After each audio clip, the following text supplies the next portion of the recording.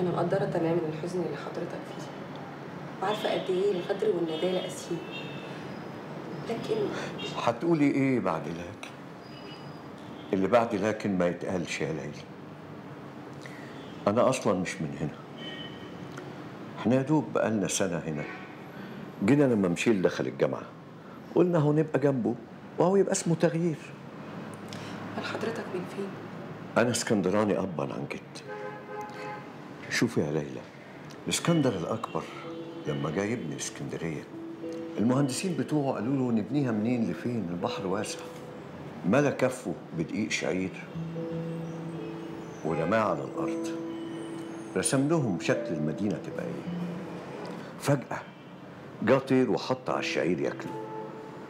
طير ياما. الناس ما عرفتش الطير ده جه منين ولا ليه. إنما اللي عرفوه ساعتها كل الناس إن البلد دي هتفضل بلد خير وجود وأمان. أنا عشت في كل حتة فيها. وصاحبت كل الناس. الصيادين وغزال الشبك المشايخ وأبو احمدات البحارة والعساكر. لفيت كل شوارعها وحواريها من مرسى أبو العباس لقلعه قايتباي لكرموز للسيالة كل حتة. أنا حفظت وشوش كل الناس الإسكندرانية وكنت بعرف أقراها كويس. إنما لما جيت هنا يا بنتي قلبي انقبض. الناس وشوشها متبدلة. مش شبه الإسكندرانية اللي أنا أعرفهم. ضحكة وقفشة ونكتة. اتبدلوا بتكشيرة. وضيقه وخناقات لاتفه الأسباب. الحضن بقى كره بقى شوك. اللمة فرطت خلاص يا ليلى هتسأليني؟ انت حزين على اللي حصل. إن يعني فقدت مراتي وابني. معلش. هما دلوقتي يا بنتي في الملكوت. مع المسيح ذلك أفضل جدا. لكن إحنا اللي عايشين على الأرض أكيد ده مش الأفضل بالنسبة لنا. ده الأسوأ.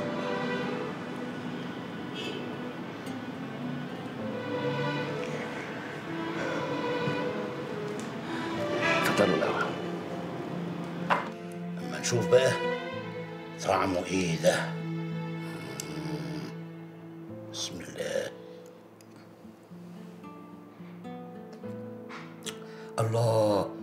فراولة. strawberry يعني يا جد. إيه؟ فراولة فراولة. أيوه. هي ال strawberry دي اللي هتخفف سولي إن شاء الله. يلا بسم الله الرحمن الرحيم. هوب بسم الله. شاطر يا سولي شاطر. ها. يلا نجهز بقى. عايزك تكلفت نفسك كويس عشان ما فيش أي نقطة هوا تخش لك من أي حتة. أيوه. جاهز؟ جاهز. ننطلق. يلا بينا يلا طير طير يا سرير على دنيا الحواديت والأحلام. ها قول لي بقى يا سيدي عايز نحكي لك عن إيه احكي لي عن بابا يا جد ليه يا حبيبي عايز احكي لك عن بابا ما هو بابا لما يجي هيحكي لك اللي هو عايزه وأنا أشوف بابا تاني يا جدو طبعا يا حبيبي طبعا هتشوفه وهتقعد معاه وتتكلم معاه زي ما انت بتتكلم معايا دلوقتي بالظبط. أنا حاسة إن إحنا مش هشوف بابا تاني زي ما ماما حصل معاها. مش هنرجع نعيش مع بعض تاني سوا. لا يا سوري لا ما تقولش كده. بابا حبيبي بيحبك ولا يمكن يبعد عنك. ما ماما كمان كانت بتحبني.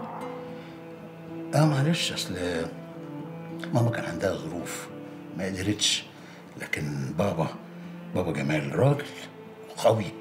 عارف مسك الظروف دي وقال لها إيه أنت فاكرة نفسك إيه؟ عايز تبعديني عن سولي؟ حبيبي ابني. وراح مديها سيف يد. عارف سيف يد؟ آه كده. أيوه سيف يد كده اللي أنت اتعلمته في النادي ده. وراح مكسرها حتت. وقال لها لا أنا لا يمكن أستغنى عن سولي حبيبي وردي وقرنفلي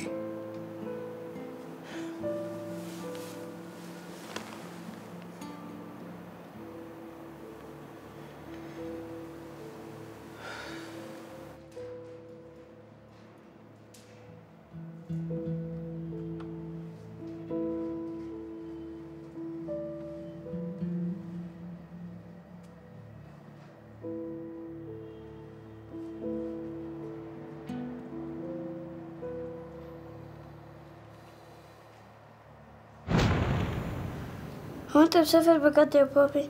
آه يا حبيبي هسافر يومين عندي شغل وهرجع على طول. مش إحنا اتفقنا ان اي سفرية تروحها تاخدني معاك. وأنا هعمل لك إيه؟ ما انت اللي كل شوية تعيا. أنا خفيت اهو يا بابي. لا ما خفتش. لما تطلع من المستشفى تبقى خفيت واخدك في الحته اللي انت عايزها بعد كده. بابي ممكن أقول لك على حاجة؟ قول يا حبيبي. أنا عايش علشانك. اوعى تسيبني لوحدي.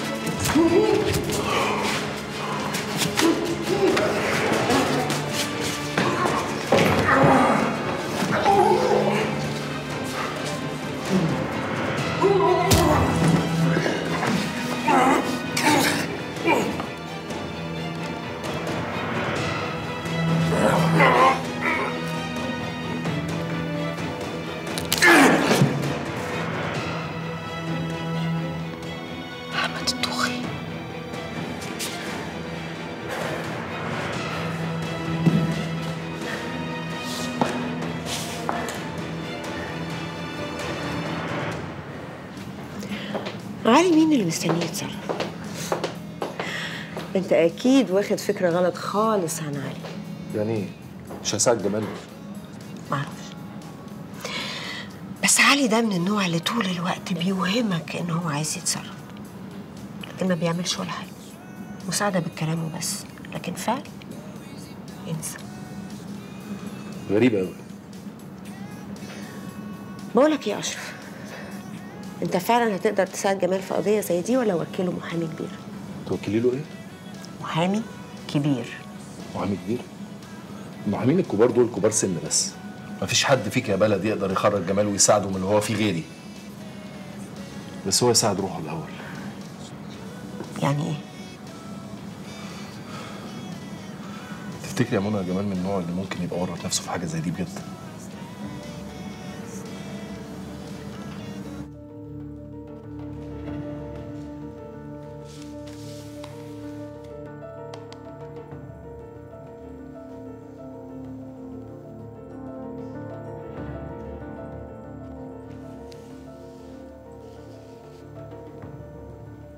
لآخر مرة بسألك مين اللي ودع جمال؟ برضو؟ واحد صاحبي كان معدي عليا يشرب معايا شاي. قرف من حياته وقال يخلص نفسه. انت هتستعبط يا أمك قال لك جاي في قضية إيه؟ ما تسأله. لا ده أنت بتستظرف. رد عليا يا عادل يالا. قال لك جاي في قضية إيه؟ ما عنديش كلام أقوله لك. لو ما حكيتليش اللي حصل بالتفصيل هلبسك جناية قتله. لا يا راجل. ده على أساس إن أنا جاي في سرقة موبايل. وأنا أعلمك شغلك ولا إيه يا باشا؟ قلت لك قبل كده 100 مرة. مالكش دعوة بالموضوع ده. الحكاية أكبر منك اسمع الكلام. اللي بتقوليه ده يا ليلى حله بسيط قوي. ما دام اللي في الصورة ده أحمد الطوخي زي ما انت بتقولي يبقى الاسم اللي قالك عليه زميلك اسم حد تاني. الجرايد كلها نشر صوت النهارده باسم جمال الجبالي طب يبقى مين أحمد الطوخي؟ ده اللي هيجنني. طب ما يمكن واحد شبهه. شبهه؟ أنا لو هغلط في الناس كلها مش هغلط في أحمد الطوخي أنا مش مصدقة إن الكلام ده بيحصل في أوتيل five stars sorry demoiselle بس قلت لك الغلط مش من عنا. ما اجى حدا من قبل حضرتك عمل confirmation وال print دي من عندي مين؟ ومن عندكم هنا؟ هيدي الورقة موجودة اونلاين على ال website اللي بتحجزي عليه.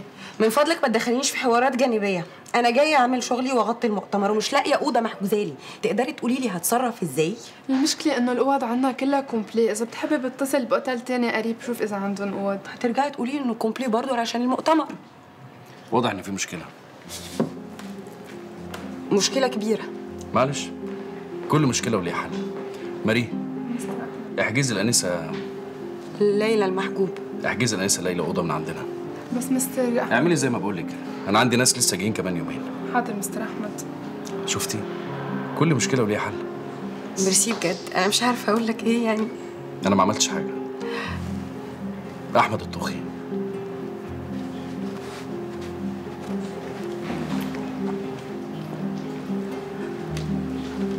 هو مين ده؟ ده مستر أحمد الطوخي عضو بالمؤتمر الأمم المتحدة عنا.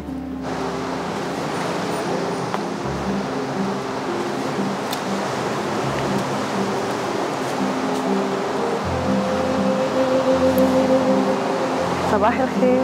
صباح الخير. اتفضلي. المطعم فيه أماكن فاضية كتير بس قلت يعني انت عودتي إن أنا أحجز لك مش كده؟ كنت عارفة انك هتفهمني كده أنا برج معاكي. هيئة الأمم المتحدة مش كده؟ واضح إن أنت صحفية شاطرة فعلا. هو أنت ما سمعتش عني قبل كده؟ اديني بسمع بس بسمع سوري شوية. صح. أنت عرفت كده إزاي؟ أنا مامتي سورية بس بابا مصري. باين من طريقتك. أنا بجد متشكرة على اللي عملته معايا. وأنا ما عملتش حاجة. هما كلموني الصبح ووفروا لي غرفة. طب كويس. تفتكر المؤتمر هيحقق حاجة؟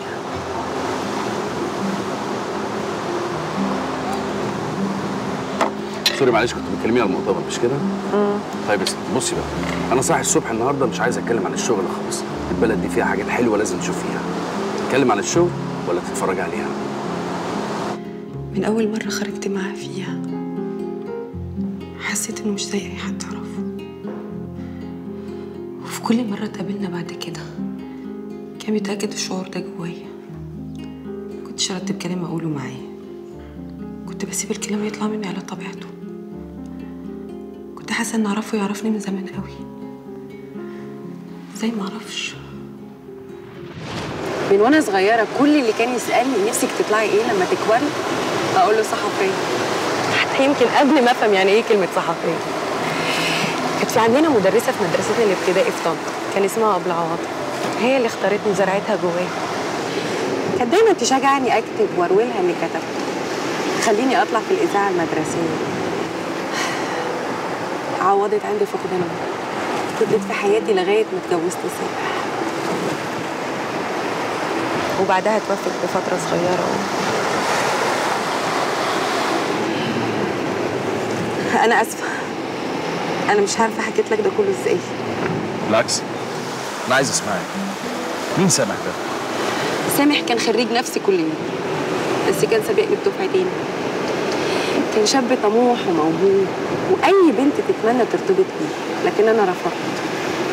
رفضت علشان ما كنتش عايزة أي حاجة تعطلني عن مشواري وطموحي. أول جورنال اتدربت فيه كان هو اللي ماسك التدريب. قعدت يوم واحد ومشيت. قررت أشتغل صحافة من غير ما أتدرب. اشتغلت كتير ورحت وسافرت لغاية ما دخلت تلفزيون الدلتا التقارير مصورة كنت أول صحفية تدخل تلفزيون من غير واسطة ودي طبعا كانت معجزة وفي يوم لقيت سامح هتف عندي في البرنامج. هل صدفة ولا مترتبة؟ آخر الحلقة سألني.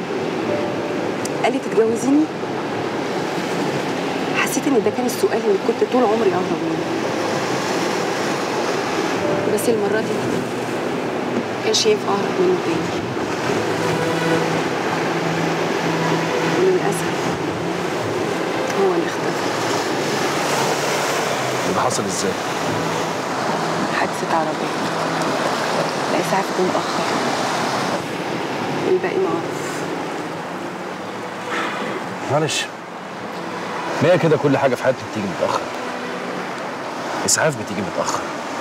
قرارات صح بناخدها في حياتنا بتيجي متأخر. حتى الناس المفروض يبقوا في حياتنا وقريبين مننا بيجوا متأخر. انت حكيتي له عنك كأنك تعرفيه من زمان. كان ليه سحر غريب عليه. ما حسيتوش مع حد غيره. طب هو حكى لك عن نفسه؟ ده اللي كنت دايما عايزة أعرفه. ولما كنت أسأله كان يجاوبني ويقول لي أنا عايزة أسمعك أكتر. يعني ما حكالكيش أي حاجة خالص؟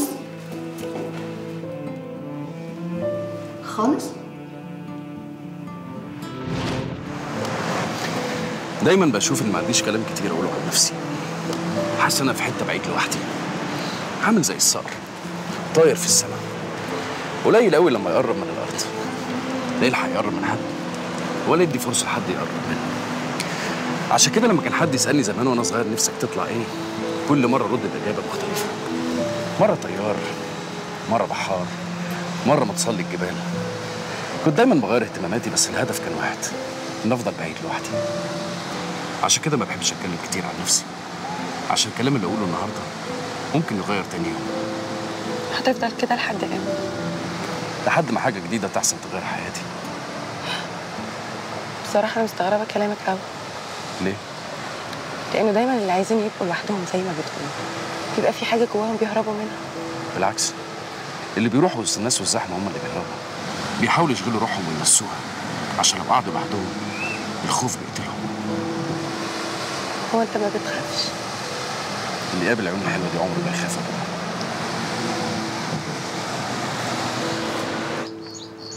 اتكلمت كتير قوي النهاردة. اوعى تكون صدعتك بصراحة صدعتيني بس صداع حلو زي صاحبته وبعدين بقى في الكلام ده. هي دي طريقة كلامي. عايزاني أغيرها؟ أغيرها بس أغيرها لحاجة أحلى من كده كمان. هو في حاجة أحلى من كده كمان؟ أكيد في أحلى.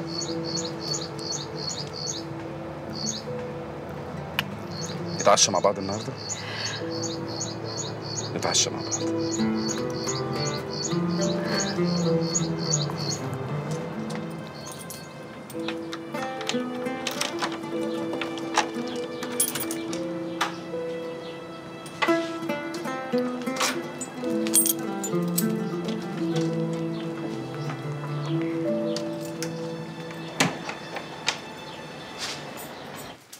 عرفتي ليه بقول لك؟ إن لو غلطت في الناس كلها مش هغلط فيه؟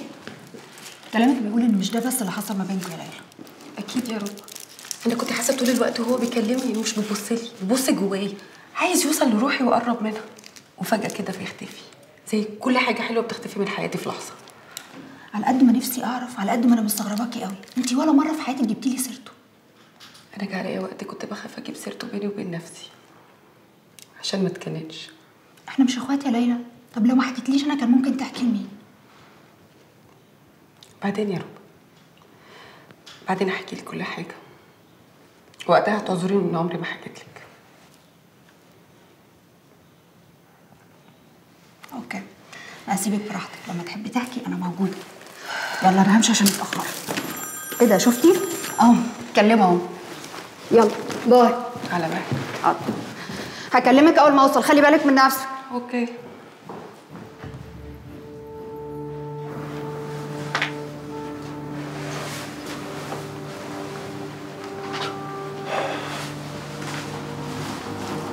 إيه يا جمال؟ ازيك يا علي؟ جاي تطمن انه حصل؟ مش أنا يا جمال مش أنا. انت تظن فيا كده برضه؟ وبالعزم مصمم انه يتخلص مني. ماشي. اصبر لغاية ما نفهم اللي بيحصل. اللي بيحصل ده ما كانش المفروض يحصل قلت لك قبل كده. بس طالما هو مصر يبقى هو كده انتهى بالنسبة لي خلاص. يعني إيه؟ يعني لازم يعرف إن هو مش محمي. أنا اعرف أتصرف معاه إزاي يا علي.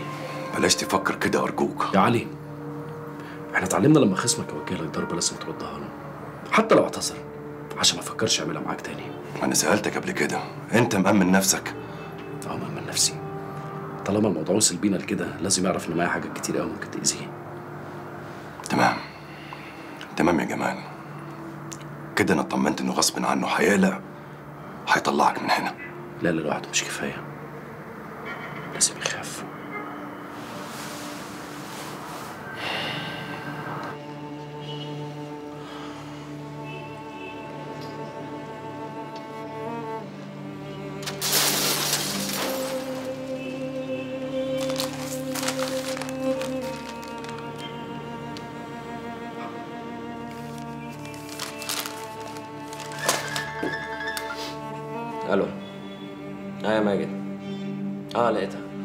بس ال quality بتاعتها مش واضحة قوي. مفيش أي site تاني الاقي فيها؟ آه okay. شبكة المسيح الحر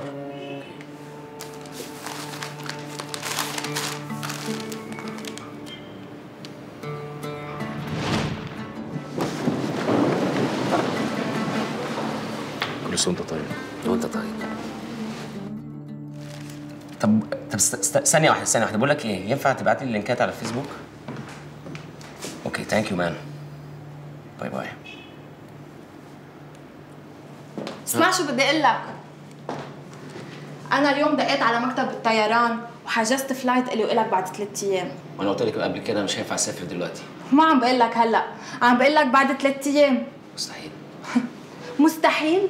شو هو المستحيل حبيبي؟ نحن كنا رح نموت بلحظة. Do you understand this؟ أنا من وقتها مش قادرة أقوم مش قادرة آكل مش قادرة أعمل ولا أي شغلة. وأنا مش قادر أعمل أي حاجة في حياتي لغاية ما أجيب حق أمي وأخويا. والله؟ يعني بعمرك ما رح تعمل شيء. تعرف ليه؟ لأنه نحن أصلا عايشين ببلد ما فيها حقوق عشان تعرف ترجعها. مارلين لو انت عايزة تسافري سافري انت أنا مش مسافر.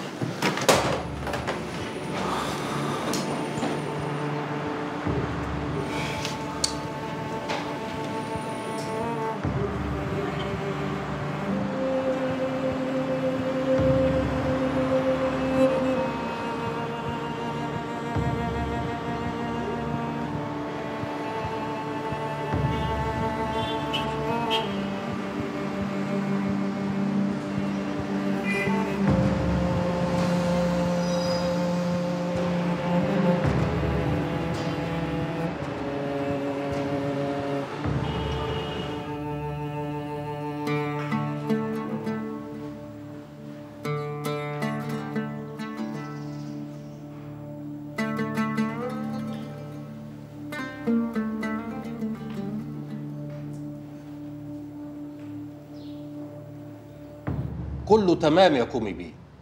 زي ما سيادتك أمرت وأكتر أيوه والمأمور اتراضى. لا وإيه؟ على حساب نوح. آه حب يعمل نزيه فقلت أسيبه يلبس. هتشرب إيه سيادتك يا فندم؟ يا سلام. يا سلام سعادتك.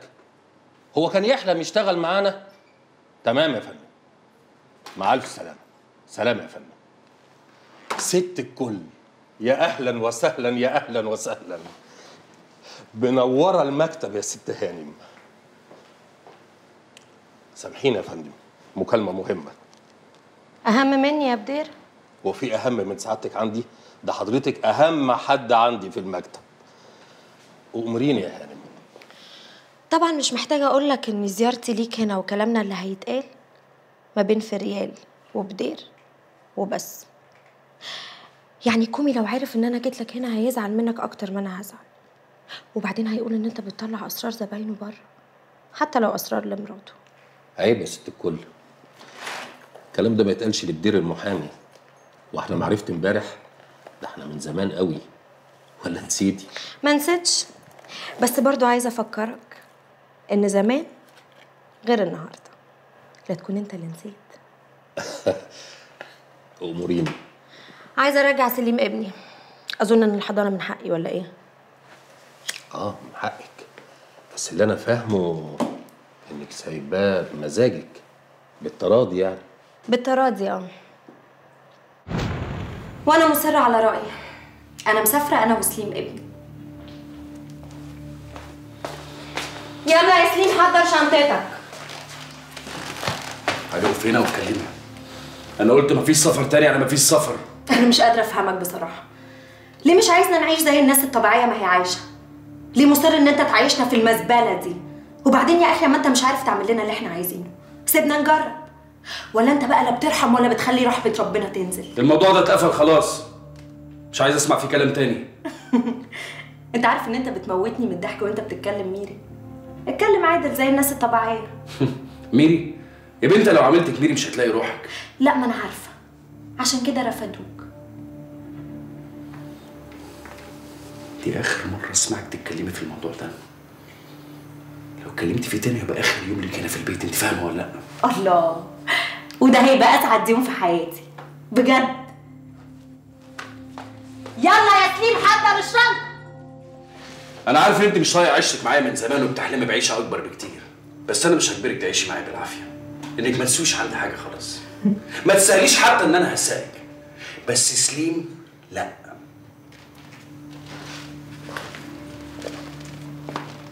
سليم هيفضل عايش معايا. ولو حلمت يا فريال مجرد حلم تبعديه عني مش هصحيكي منه. فوقي وبعدين؟ بس. ما فرقش معايا. وركزت في مشوار الكون. على يدي. مم. بس أنا دلوقتي فارق معايا. وعايزاه حقك بس بس إيه؟ تفتكر هيسيبهولك بالساهل كده؟ الحكاية من حقك زي ما قلت لك ومن أول جلسة كمان. ده مش قضية ده لعب عيال. إنما مش كل حاجة القانون والمحاكم. يعني إيه؟ يعني اظنه هيرخم حبتين. يرخم. الله. طب ما إحنا كده مش هنطول الوقت. ومين قالك إن أنا عايزة طول الولد؟ أنا عايزة أساومه العب لا أكتر ولا أقل. ده أنا هقطعك يا واد يا سليم أنت ما تعرفش عمك أشرف بقى لما بيلعب PlayStation مش تعرف تكسبني يا uncle أشرف؟ أنا الجول بتاعي جامد. ماشي يا عم الجامد. هنشوف. ويوسع! جنب العارضة. الله الله الله. إيه ده إيه ده إيه ده إيه ده إيه ده إيه ده؟ أنت بتعمل إيه؟ فاول. أنا هقطعها منك دلوقتي. لا مش هتعرف. جول! يا ابن اللذينة. تلعب جيم كمان؟ لا في ماتش مصري وغانا. ماتش مصر وغانا؟ آه. ماشي يا اخويا ماشي. السلام عليكم السلام عليكم ورحمة الله. استغفر الله العظيم الذي لا إله إلا هو الحي القيوم وأتوب إليه. يا أرحم الراحمين أرحمنا. يا أرحم الراحمين أرحمنا. يا مفرج الكرب فرج الكرب عن عبيدك يا رب. النبي يا رب حياة حبيبك النبي محمد. ما تسيبش جمال ابني في محنته. مديله إيدك يا كريم وخد بايده إحنا ملناش غيرك نسأله يا رب. أنا كل ما ببص لسليم بقول ذنبه إيه ولد جميل زي ده يتحرم من ابوه وقبلها من امه. يعني لا اب ولا ام لما يتحرم منهم هما الاثنين. اللي هيفضل له اشرف إيه يا عم رجاء الكلام ده. ربنا يديك الصحة ويخليك لينا كلنا. والله يا ابني أنا اللي حصل ده خلاني عجزت عمرين على عمري. كان نفسي إن أنا أقضي بقيه أيامي في هدوء ومن غير مشاكل. نفسي أعيش مطمن. لكن إزاي؟ أنا كل الباب ما بيخبط ولا جرس التليفون بيرن. ببقى حاسس إن فيه مصيبة هتحصل. يا عم مفيش مصايب خلاص. وبإذن الله بإذن الله كل حاجة هتبقى زي الفل. يا رب. المهم أنا مش عايزك تحس بكده على الأقل قدام سليم. مش عايزين نحسس الولد بأي حاجة خالص. والله أنا بعمل كده يا ابني. أنا بمسك نفسي قدامه بحاول أضحكه وأنسيه. لكن أنت ما بتشوفوش ولما يسأل على أبوه. ويقول لي بابا ما جاش عشان ياخدني ليه؟ الواد نبيه بسم الله ما شاء الله. وأنا خايف لا يكون فاهم حاجة. لا يا عم إحنا بقى دورنا إن إحنا نفهمه إن مفيش أي حاجة خالص. أنا حتى الجورنال ما بقتش أجيبه. خايف لا تقع عينه على صورة لأبوه ويقرأ كلمة مكتوبه عليه. حتى المدرسة ما بقتش أوديه. خايف لحد من زمايله يقول له كلمة كده ولا كده. أنا مش عارف يا ابني والله مش عارف أعمل إيه. ربنا يعدينا منها على خير يا رب. إن شاء الله خير يا عمي. ما تباصي آه شوف الواد بيباصي إزاي. بيشوط في زميله الله يخرب بيوتكم. اقطع اقطع.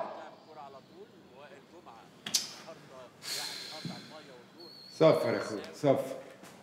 صفر كانت كنيدة لما نشوف الشوط التاني. العيال نازلة الماتش وهي حاقدة على بعض. اللي خاطف واحدة رقاصة من زميله واللي مرافق بنت ممثلة واللي واخد هدية من الشيخ فلان. عيال بايظة بعيد عنك. إيه يا خليف مالك؟ شكلك كده مش في المود. لا زي ما تقول سعادتك يعني. أنا ماليش في لعب الكورة قوي إيه؟ انت عارف لو سمعتك بتقول كده تاني يا خليف هعمل فيك إيه؟ إيه؟ هلبسك شورت واخليك تنطق حلوة آه يا خليه القمح والمزاج. الناس تاكل يا خليه فتملى بطنها وبعدين بقى تحشش أو تشجع كورة فتعدل مزاجها. عشان لو مزاجها هتعكنن هيقوموا ياكلونا إحنا يا اخويا. خد بالك من الكلام ده يا خليف ده أهم من اللي بينك وبين الكومي ولعب العيال اللي بينكوا ده. لعب عيال ما إزاي؟ تأخذنيش يعني. هو مش ده برضو اللي انت كنت جاي علشانه؟ هو ولا مش هو؟ يا دكتور زيتون الكومي بيتصرف تصرف. بيتصرف صح. والكل راضي عنه. خد لك أجازة يا خليف خد لك أجازة عشان ترجع حلو كده وفريش. وتنول الرضا. مش معلقه في الزنزانه وبس لا وإيه وبيهدد كمان. ومش بعيد بكرة الاقيك متعلق جنبه وهتشوف. سعادتك أنا ما كنتش موافق على الأمر ده. موافق على إيه ولا مش موافق على إيه يا بني آدم أنت؟ أنت حتة بني آدم فاشل. أقصد يا فندم ما كنتش مقتنع. مقتنع؟ آه. هو ده بقى سبب فشل تصفية الجمال مش كده؟ لكن قول لي كان يقصد إيه بإني مش محمي في إيه تحت إيه الجمال يا علي؟ سبق وسالته وأنكر تماما يا فندم. تفتكر؟ في الحقيقة ما أظنش إن جمال بالسذاجة دي علشان يصرح بكل اللي جواه. جمال بيلعب لعبة هو مش قدها. تقصد إيه سعادتك؟ قول لي مشكلة جمال بدأت من ساعة موضوع السلاح الأخير مش كده؟ مظبوط سعادتك. امم طب قول لي بقى كده تاني إيه اللي حصل؟ مشكلة نفسية. وسعادتك اللي اديته الأجازة حتى بعدها. آه أنا اديته الأجازة لأن كنت فاهم إن هو تعبان أو مرهق لكن ما كنتش أعرف إن الموضوع أكبر من كده.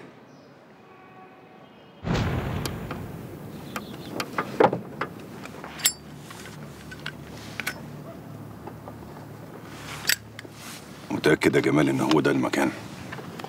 أكتر من كده يظهروا الحرس الحدود وده مش في مصلحتهم فاكر الصحراء الغربية والوعى اللي اتربينا فيها أربع أيام بلياليهم ودي قام تتنسي ساعتها اتولد سيدي وما شفتوش. كنت هتجنن عليه يا أخي. وطلعت جنانك على عيال المهربين لما فرمتهم. شكلهم وصلوا.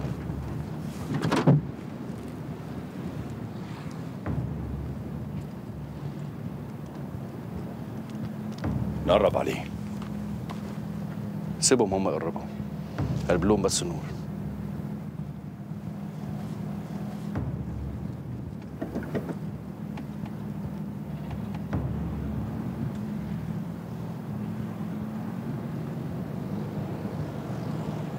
الشنطه يا جمال. خلي بالك اشيلها تدوس على الزرار. شعل المير يا وحش. ما دي المصيبة.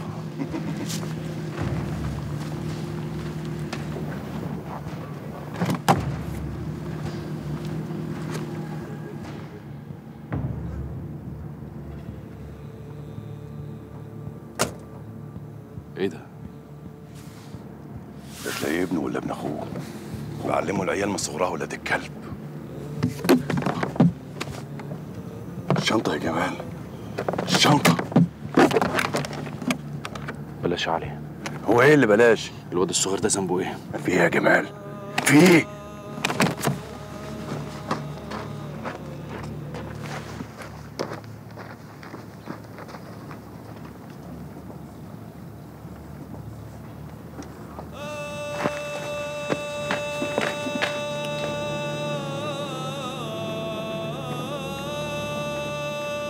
اركب يا جمال مفيش وقت. اركب.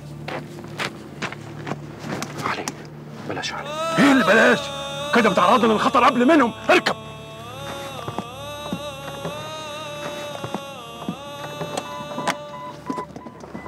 اركب يا جمال.